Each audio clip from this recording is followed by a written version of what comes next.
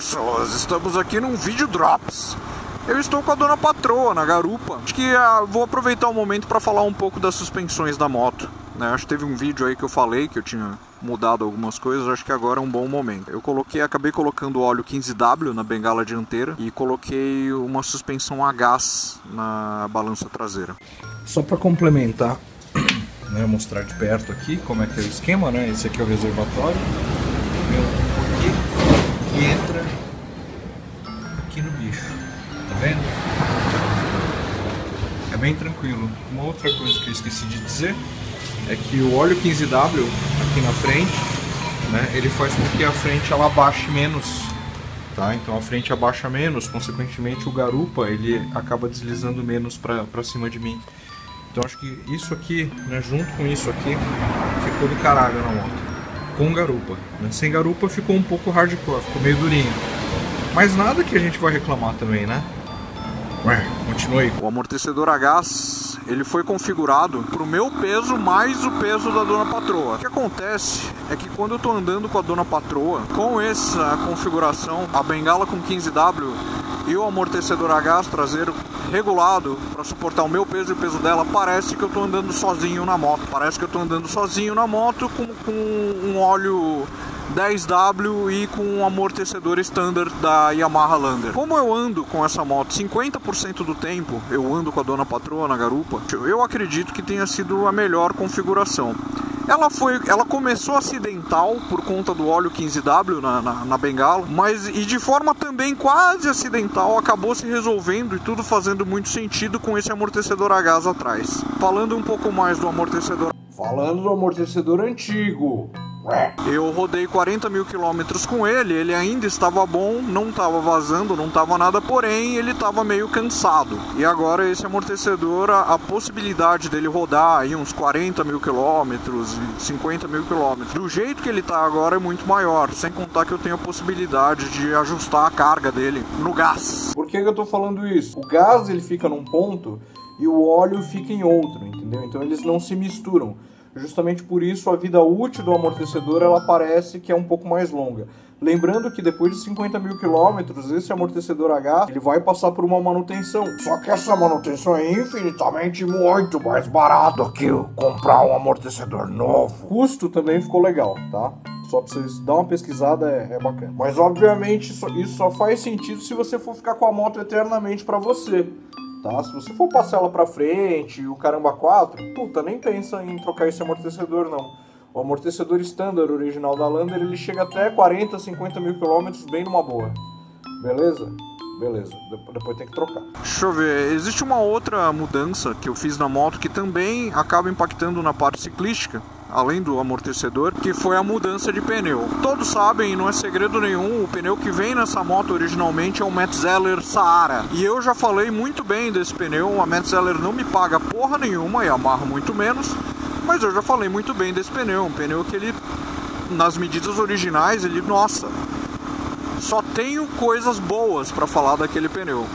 Sem contar que o último jogo de pneu que eu usei tá? Eles duraram pra caralho. O traseiro ele chegou a rodar 18 mil quilômetros. Óbvio que ele tava, assim, o TWI já tinha comido, né? O ideal seria eu ter rodado 15 mil quilômetros e trocado. Mas rodei 18 mil quilômetros, não tive nenhum tipo de susto, nem com ele, nem com o pneu da frente. Pneu bom, pneu consistente, tá? Pra quem não sabe, esse pneu da Metzeler, ele vem com cinco camadas, né? Ele tem uma, uma, uma capa interna estrutural. São cinco camadas. Cinco camadas depois da borracha do pneu. Tem a borracha mais cinco camadas. Para que a estrutura do pneu seja bem confiável, né? Então, e ele tem um composto bem mole. Ele não é um pneu off-road, né? Ele é um pneu misto, então é bacana. Acho que é um pneu que se você for para terra, dificilmente você vai ferrar com o aro da tua moto ou dificilmente você vai acabar furando com, com, com coisas muito leves, né? Um pneu abriu o farol cuja estrutura é legal. Por indicação de um amigo, eu acabei colocando um outro pneu que era 40%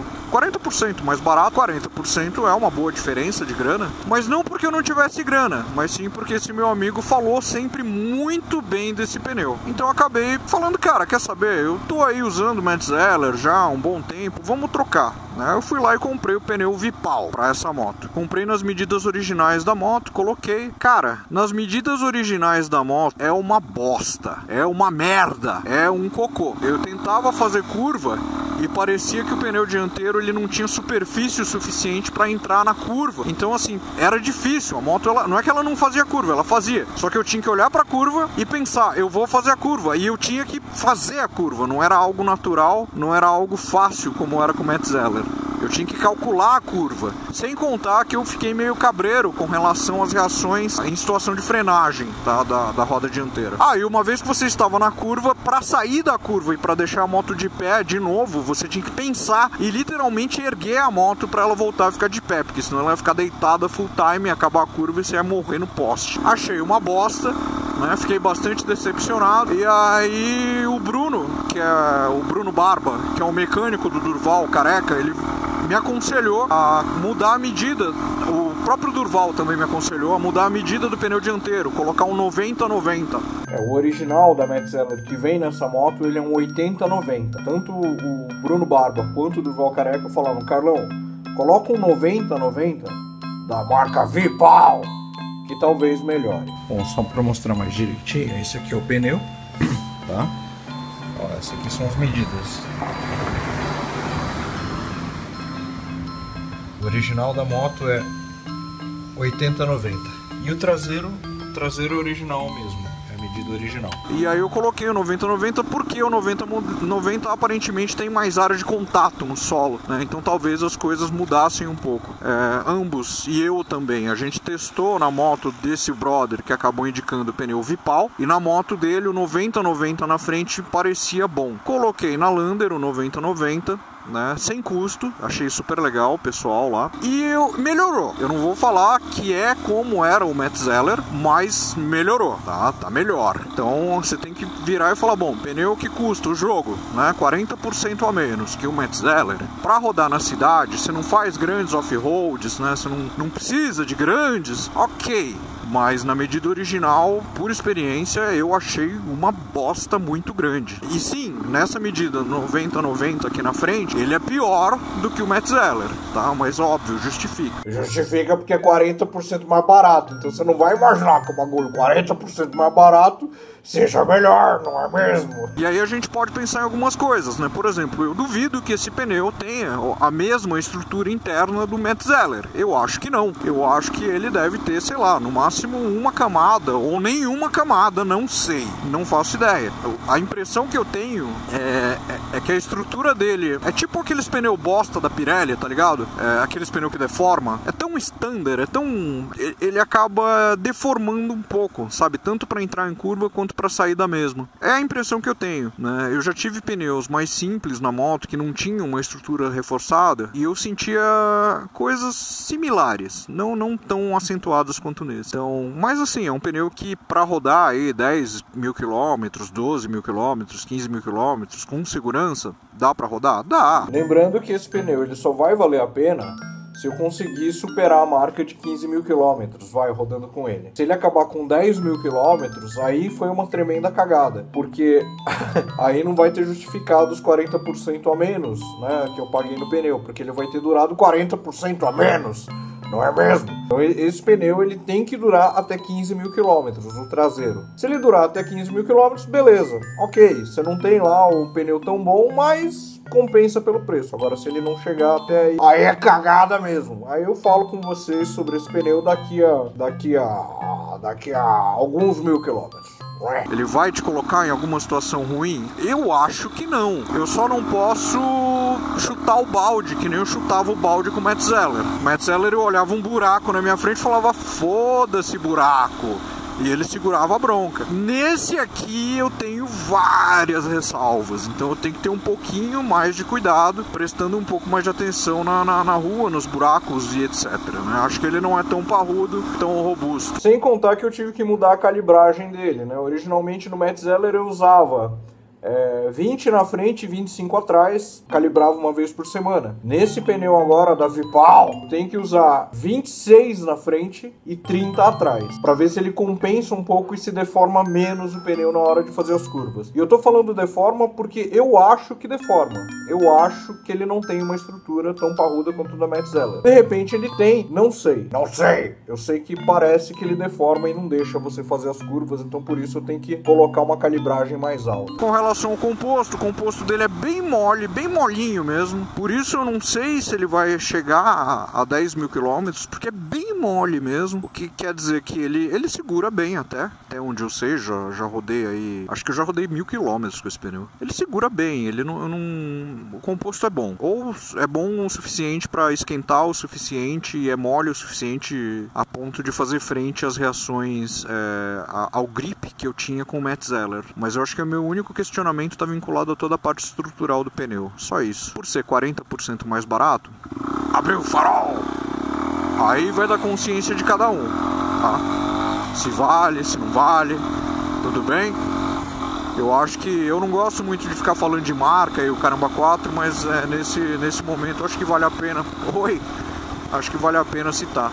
Se eu pudesse voltar no tempo, eu teria colocado o Matt Zeller ou o Vipal? Eu não sei. Eu só vou conseguir responder essa questão daqui a 15 mil quilômetros. Se o Vipal durar, talvez tenha compensado. Isso aí, vou saber só lá pra frente. Ah, pelo fato do composto ser super mole, pontos positivos, né?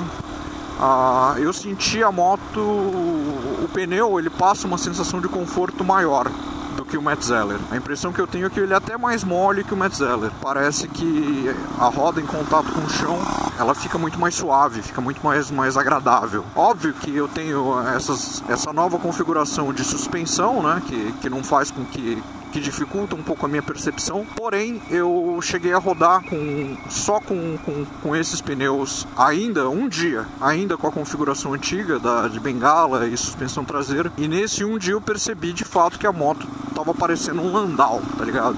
Um Landau eu exagerei um pouco, né?